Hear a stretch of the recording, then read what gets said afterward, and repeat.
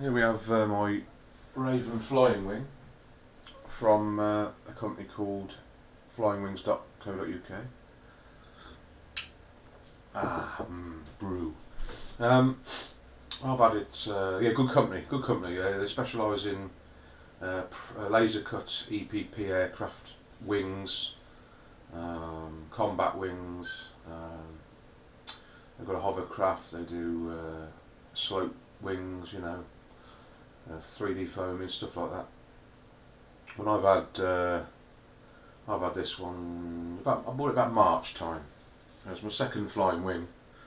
Uh, first one I bought was a Hobby King combat wing, um, which as my first wing and quite an experience, it was an absolute nightmare to get it um, actually flying. When I did it was it was okay. It was just they're so. The thing with wings is they're so sensitive to uh, C of G that if you get it a bit wrong, they're an absolute ball ache, really. Quite quite honestly. you have to excuse the low light here. I've got. Uh, let's pop the light on. So that might be better. That might be better. Um, um, so this one, yeah, um, I bought it in kit form, which is just the wing and the the accessories. You know, the control rods, uh, horns, motor mount, uh, ply bits and pieces in here. And uh, bits and bobs. The um, specs are the wingspan's 820, 32 inches. Um, it's got the carbon fibre, all the bits and pieces come with it, the winglets and all that kind of stuff. Um, and then you have to put your rest in, which is just two servos, um, a motor, ESC receiver, the usual, yeah. Um, when I first built this, incidentally, the price um, is around about 30 quid, which is, for the fun I've had out of it and um, and things like that, is is absolutely brilliant, really. I mean, it's a nice big, it's a nice chunky wing. It's nice and thick, um, pretty light. Um, when I first built this, I built it really, really light with a, a ridiculously small, uh, high revving little motor and a 2S battery, and it was great. It did, it flew okay. A bit slow, you know, but um, it just got me used to the the characteristics of it and uh, all the all the CG worked out on it, and then um, after a little while, I upgraded uh, all the bits gradually. I put a uh, the motor on this one now is a strong power 2200 kV it's about a 22 amp 23 amp motor. And currently mm, pushing out this that prop is a 6x4 APC it's pushing out about 240 watts which is way way way beyond the recommended uh, power system. And and because of that uh, I was experiencing some problems in flight with um, loss of control on the on the surfaces which the, basically was the the uh, servos weren't strong enough not enough torque on the servos so I swapped them out for these uh, they're quite cheap. A new range from Hobby King they're metal gear uh, digital servos Turnigy ones they're really really cheap but they're really strong. They're a bit noisy but for this wing uh, they're great to be honest. Um, 25 amp plush speed controller. And the uh, the lightweight uh, six channel Hobby King receiver for the 9X. I'll use this the 9X on this one.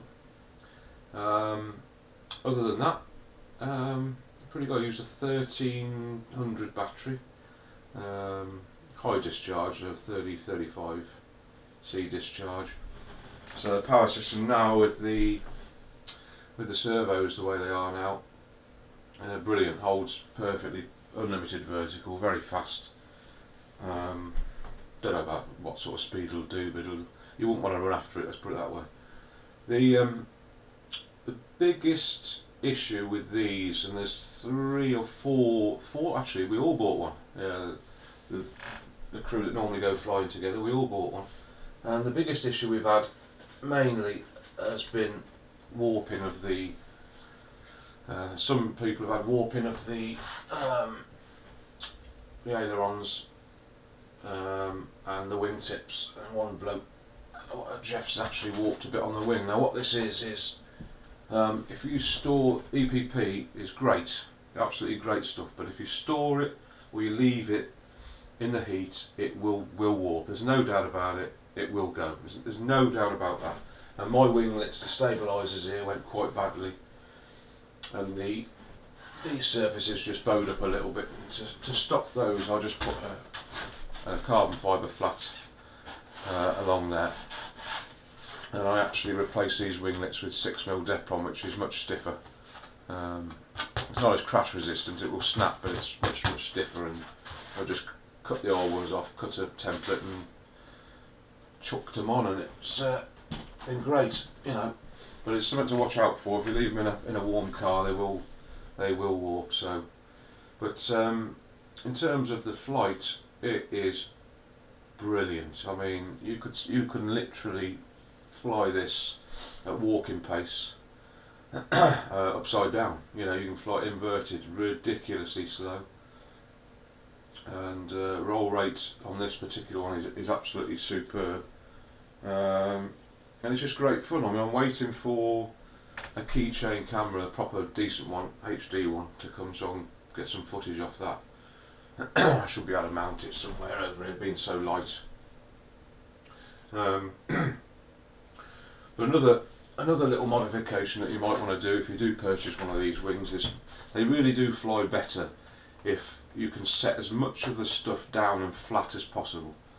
I actually carved this piece out for the battery uh, lower than normal because I mean they do they do fly with all the stuff just plonked on but obviously it's going to slow it down and disrupt the airflow so I've set that down nice and low ply mount in there that on there. Set these the ESC and the receiver down into the wing as well. And then a little bit of velcro in there. And all the wiring if you just tuck it away as best you can uh, it'll fly better. Um, you've got this is the spar that they, they, they give you which is just a flat carbon fibre spar which obviously stops the, the flex. And it's a pretty stiff wing to be honest. It, it is pretty stiff. And I have given this some real welly yeah, really high G speed turns and it's no problem uh, I've just put some couple of stripes on each side just for orientation when you uh, you know when you're flipping it round and blah blah blah. But uh, um, all in all, uh, an excellent wing, and uh, I think I'm going to go for a, a bigger version. Right, unfortunately, they don't do a, a big version, which is a shame because I buy a I buy a Raven. If it, you know a bigger from Flying Wings, if they did a bigger, much bigger wing up to about 1400, but I want to get something I put the GoPro on, which incidentally is filming this, the new GoPro 3. Very very nice. Just having a little play around with some of the settings to see what. Uh, what they come out like, but uh, hence the reason for these reviews. There, there, there we go, the Raven Flying Wing. Thanks for watching.